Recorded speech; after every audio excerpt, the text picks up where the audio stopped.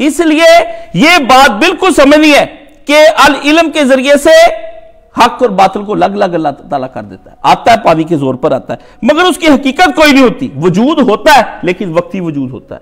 इसी तरह हक और बातल, शार या फिर नक्स या अदम, ये सब चीज़ें एतबारी हैं।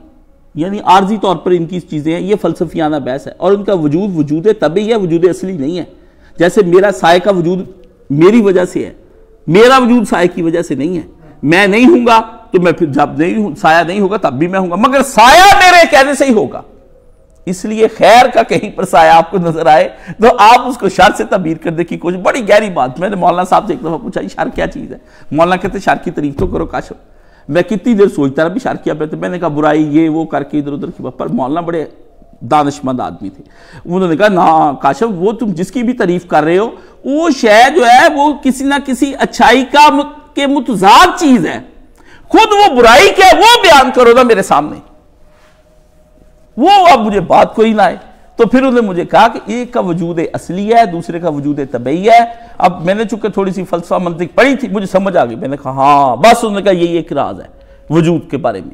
अब ये जिन लोगों को इस, आप लोगों की शायद दिलचस्पी की ये बात ना हो, मगर जो लोग फिलोसफी पढ़ते हैं ना, उनके लिए आप समझ लें कि मैंने एक ऐसी गुर की शायद दी है, अगर वो वाकई नशा करता हुआ फलसफे का हम्म? या इल्म कलाम का नशा करता हुआ यानी ये नशे हैं भाई, जैसे आप इनके पाउडर पीते हैं, जर्से पीते हैं, इसी तरह उलमा के भी नशे हैं। कोई सरफ का नशा करता है, कोई नाहव का नशा करता है, कोई इल्म बलागत का नशा करता है, कोई मुनाजरे का नशा करता है, उसके नशे होते हैं जब वो उस इलम को पढ़ता है, उसका दिल खिल उठता है। ठीक है? जब उसके सामने किसी और इलम की बात करनी शुरू करते वैसे करके देखता रहता है, देखता रहता है साढ़े भाई तो ही गुजरती जा रही हैं। अभी मैं दौलतमंदों के सामने पैसों का माल आ रहा है, जा रहा है, मैं कहा, नशा चढ़ है। उसी वक्त हाँ किन्ने का इन्ने का भेज दे ए कर दे ओ कर दे। टाइम का पता नहीं, नमाज़ जा रही मैं फ़ोन करूँ, कट ही जाएँगे दरमियान में। भी एक उस्ताद जी का कितों फ़ोन आ रहा हूँ। तो बेहतर यानी वो नशा उसका, चूँकि वो होता है, मैं उसका होता हूँ, वो इज़्ज़त एहतराम वाला, दुआ वाला नशा। भी मेरा माल सलामत रहे, उस्ताद जी के पास जाना, ये दुआ कराने के लिए। नशा उसका वही होता है।